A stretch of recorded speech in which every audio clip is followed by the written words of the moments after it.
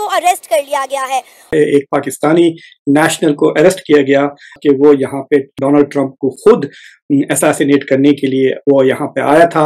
मुझे तो वो अजीब सी बात है आसिफ मर्चेंट उनको कहा जाता है लेकिन हमें वो अमेरिका में 20 साल पीछे धक्का मार के खुद जेल में चले गए बल्कि मुझसे क्वेश्चन किया गया यार ये ईरान है उनकी इतना उनके प्रैक्टिस चल रही है पाकिस्तानी ही क्यों उनको मिला है? जब ये ईरान की तरफ़ से जरा गौर से सुनिएगा ये जो ईरान की तरफ़ से ये मैं यकीन से कहती हूँ कि हर पाकिस्तानी का दिल जख्मों से चूर है। देखिए ये बड़ी पैथेटिक सिचुएशन है। पाकिस्तान का नाम आ, हर वक्त किसी न किसी बड़े टेरर लिंक के साथ लिंक हो जाता है।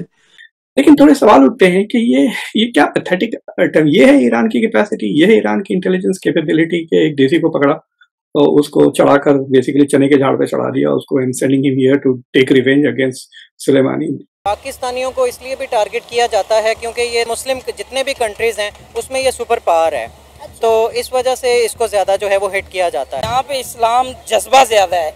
इसलिए सब इस चीज़ को बैन करवाना चाहते हैं पाकिस्तान को दबा रहे हैं नीचे लेके जाना चाहते हैं। ये तो गलत है ना वो यार Muslim I don't know how the US government इसका बदला लेगी।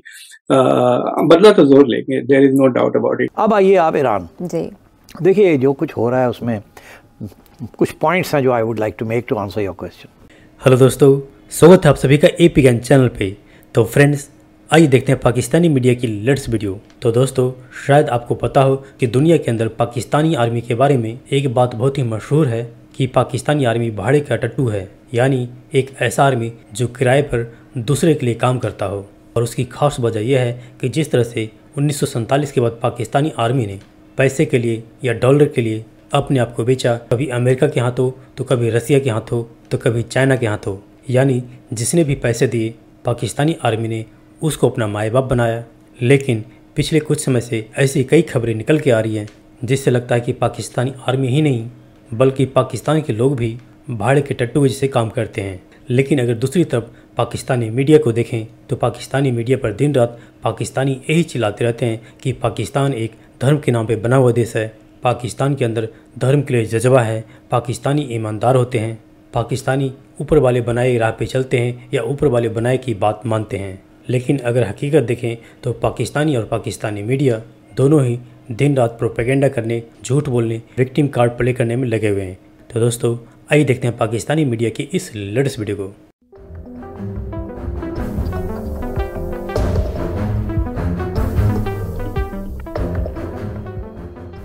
एक पाकिस्तानी कोई अचानक से निकले ईरान से घूमते फिरते अमेरिका पहुँचे कुछ पता है उनके बारे में? मुझे तो वो अजीब सी बात है आसिफ मर्चेंट उनको कहा जाता है लेकिन हमें वो अमेरिका में 20 साल पीछे धक्का मार के खुद जेल में चले गए। बहुत बुरा, बहुत बुरा हुआ यहाँ पे। आसिफ मर्चेंट साहब को पकड़ा गया है और ऐसे इल ट्रेंड है बल्कि मुझसे क्वेश्चन किया गया यार ये ईरान है उनकी इतना उनके प्रैक्टिस चल रही है पाकिस्तानी ही क्यों उनको मिला है? अमेरिका सस्ता मिल गया होगा। लेकिन बहुत अफसोस हुआ बहुत अफसोस हुआ। पाकिस्तान को पहले भी दुनिया अच्छी नज़रों से नहीं देखती और ये आखिरी धक्का जो है हमारे आसफ भाईजान आके देख गए हैं। आसफ मर्चेंट जो है जिनका नाम है पाकिस्तान एक बैंक में जॉब करते थे कराची से है मौसूफ। हम्म। और पता नहीं क्यों उन्होंने आके ये ड्रामा कर दिया। यहाँ पे दो दिन से खबरों में इस वक्त वही चल रहा है कि एक पाकिस्तानी को पकड़ा गया है और उसका जिस दिन पकड़ा गया जिस दिन पकड़ा गया उससे दूसरे दिन अटैक हुआ है डोनाल्ड ट्रंप साहब को तो उसको भी डायरेक्ट यहाँ पे कई मीडिया आउटलेट्स जो है उसको साथ उसको अटैच करने की कोशिश कर रहे हैं। फिर देखें यहाँ पे आके तो वो जिनसे बातें कर रहा है मेरे ख्याल में तो वो पाकिस्तानी भाईजानी हो गए जिन्होंने पकड़वा दिया है। उनको पाँच हज़ार बहना भी दे दिया है कहता है एक, एक लाख डॉलर तुम्हें जाके भेज दूँगा।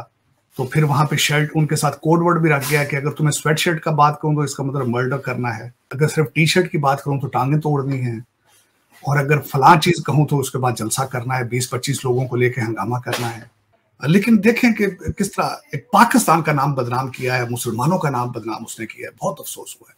हमारा यहाँ पे रहना जो है उसमें उसने दुशवार कर दिया है। पहले ही इस्लामोफोबिया एक बहुत बड़ा इशू है। बसानी साहब, ये क्या वजह है? कि जो वेस्टर्न ममालिक हैं, इनके अंदर तो बड़ी एक्सेप्टेंस थी। ये तो बड़ा एम्ब्रेस करते थे, बाहर से जो लोग आते थे। लेकिन आज बरतानिया हो या बहुत सारे जो यूरोपियन ममालिक हैं, इन्होंने जो इमिग्रेंट्स हैं, उनको रजिस्ट करना शुरू कर दिया पर्टिकुलरली मुस्लिम इमिग्रेंट्स को। बाकी इमिग्रेंट्स से कोई मसलन प्रॉब्लम नज़र नहीं आ रहा इंडियंस भी हैं और ममालिक भी हैं। पहली बात यह है कि, एक तो ये है कि लोगों का प्रॉब्लम यह है कि वो अपना मुल्क छोड़ के आते हैं ज़रूरियात के लिए। और फाइनेंशियल डिफ़िकल्टीज़ की वजह से। अब उसमें ज़्यादातर लोग जो है, वो यही हैं जिनको आप मज़हब के हवाले से मुसलमान या बांग्लादेश या पाकिस्तान या अरबिक कंट्रीज़ के जो कुछ, जो है लोग हैं जब वो सेटल डाउन हो जाते हैं, उनके माशी हालात ठीक हो जाते हैं सोसाइटी उनको एक्सेप्ट कर लेती है, यानी ज़िंदगी जब उनकी ट्रैक पे शुरू हो जाती है तो उस वक्त वो वन बाय वन अपनी वो पटारियाँ जो है वो खोलना शुरू हो जाते हैं।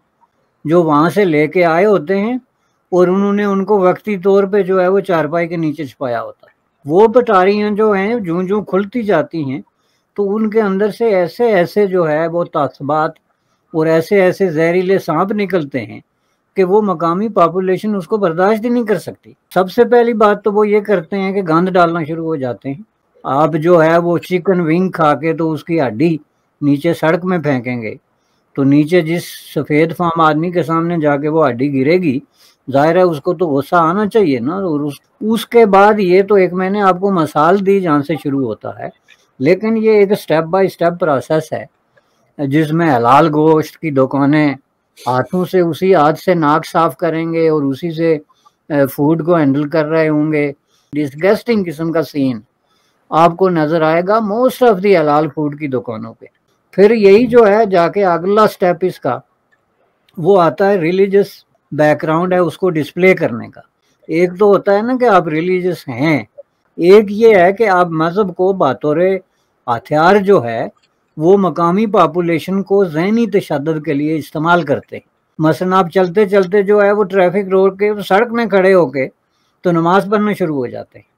और ये अमल जो है ये एक इंडिविजुअल से लेके ग्रुप ऑफ़ पीपल तक आपने भी देखा होगा कि किस तरह रिलीजन को डिस्प्ले किया जाता है एज ए टूल ऑफ़ डराने के टूल के तौर पे इस्तेमाल करते हैं। तो लोग ना सिर्फ़ खौफजदा होते हैं बल्कि उनके अंदर एक नेचुरल जो है एक रिएक्शन पैदा होता है कि इन लोगों का अगर ये इतने हैं तो ये हाल है तो ये अगर इनकी तादाद दुगनी तिगनी हो जाए तो फिर उसका क्या होगा? इसके बाद आप आगे चले जाएँ, लिबास देख लें। हमारे यहाँ जो खातन जो है, वो किस तरह का लिबास पहनती हैं, कितना एक पर्दा होता है और यहाँ पहुँच के तो उनके पर्दे के अंदर जो है, वो किस कदर रेडिकल चेंज आ जाती है। और वही लोग जो है, वो वापस जाके आपकी अपनी सड़कों पे जो है, वो जीन या सूट जून की गर्मी में थ्री पीस और टाई डाल के तो घूमते हुए नज़र आएँगे। तो ये जो तजाद है ये शो कर रहे हैं कि हम वो बहुत बड़े मुख्तलिफ़ लोग हैं, खुदा की जो है वो उसमें हैं। तो इसकी वजह से ये एक बाकायदा तजाद है, जो कि दुरुस्त नहीं।